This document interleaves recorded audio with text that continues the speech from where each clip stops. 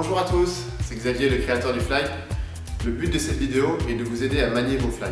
Si vous découvrez le fly ou que vous avez des difficultés, cette vidéo est faite pour vous. Le fly est magique.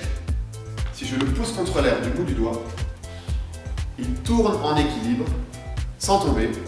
Alors il n'y a pas de trucage, puisque si je le lâche, il tombe. On va maintenant apprendre à démarrer d'une seule main. Il suffit pour cela de pincer le fly délicatement entre le pouce et l'index, le pouce dans le creux, l'index sur le dos au milieu du papillon. Et on va faire un petit crochet pour être sur la pointe du doigt. Si je suis sur le plat du doigt, ça ne marchera pas, donc je fais un petit crochet pour être tout au bout du doigt. Si j'ai des ongles, c'est sur l'ongle. Ensuite, je tends le bras devant moi. Le fly est bien droit pour présenter cette face creuse contre l'air. Et là, il suffit de lui donner un petit peu de vitesse de lâcher le pouce et de bien tendre l'index dans le sens du mouvement, vers le côté, de manière à pousser le flag du bout du doigt. Si vous n'avez pas réussi du premier coup, il y a plusieurs raisons possibles. Soit vous avez pris le flag du mauvais côté, faites attention, prenez bien le flag avec le pouce à l'intérieur. Il est possible que vous ayez démarré avec le plat du doigt, et donc le flag ne tourne pas.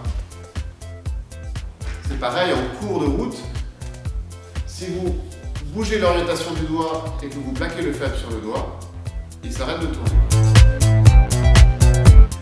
Pour courir avec le flag, on va faire un jeu très simple, mais qui développe chez les enfants la spatialité, la motricité et l'observation.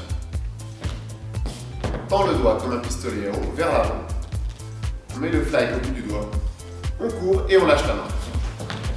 Pour ceux qui n'y arrivent pas du premier coup, c'est peut-être que vous avez pris le flag dans le mauvais sens. Le flag, il faut le tenir la face creuse vers l'avant. Ensuite, il faut faire bien attention à le passer délicatement, ne pas l'écraser, à garder le flag bien droit et le doigt bien vers l'avant, pas vers le haut. Quand vous démarrez, eh il faut lâcher après avoir démarré. Si on lâche le flag en premier, il tombe. Et puis dernièrement, quand on court, il ne faut pas relever le doigt. Si je relève le doigt en courant, eh bien, le flag ne tourne pas. Alors si jamais on l'a fait tomber par terre et qu'on n'a pas fait attention, il est un petit peu abîmé, on le remet dans son cocon pour le régénérer en quelques minutes. Ensuite, on peut rejouer avec.